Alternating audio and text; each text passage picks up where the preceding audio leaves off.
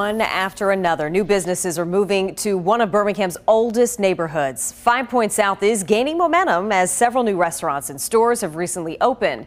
And as WVTM 13's Dan Odell tells us, the growth is intentional.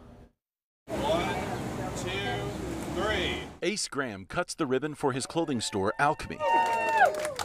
Graham's been working for a year to open this store in Five Points. We wanted to be here from the beginning, but I'm super happy that it took the time that it did because being here now is like we're on the cusp of something great. Graham's moving his store from downtown, just a little over a mile away, but he says it's now in the perfect location. Being in Five Points is the most diverse place in Birmingham, I think. So we're able to see so many different kinds of people at so many different times of the day.